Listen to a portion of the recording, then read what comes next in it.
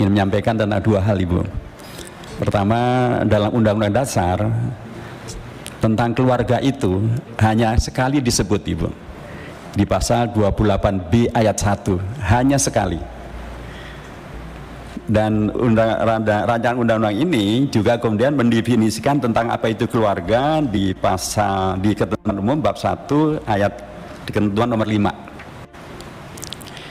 tetapi ke penjelasan tentang keluarga di sini belum sinkron dengan ketentuan dalam Undang-Undang Dasar pasal 28B ayat 1. Di mana di sana disebutkan bahwa e, di antara hak itu adalah untuk melalui membentuk keluarga dan keturunan melalui perkawinan yang sah.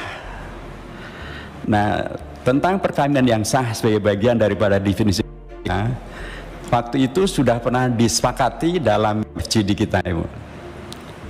Tapi entah kenapa di akhir kok malah tidak masuk lagi. Jadi saya usulkan atau saya ingatkan ini dikembalikan kepada ketentuan dasar dalam uh, hierarki perundangan kita yaitu konstitusi pasal 28B ayat 1 dan karenanya di poin mengingat Ibu perlu juga ditambahkan selain pasal 28B ayat 2 ditambahkan juga pasal 28B ayat 1 demikian.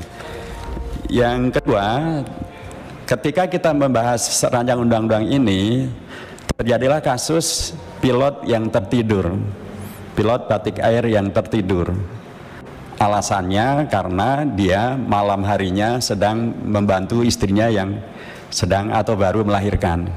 Karenanya saya mengusulkan juga agar tentang hak cuti bagi suami yang istrinya melahirkan juga diberikan. Terima kasih banyak Pak Kiai. Nah, usulan terakhir kita setuju semua itu Pak. Ya.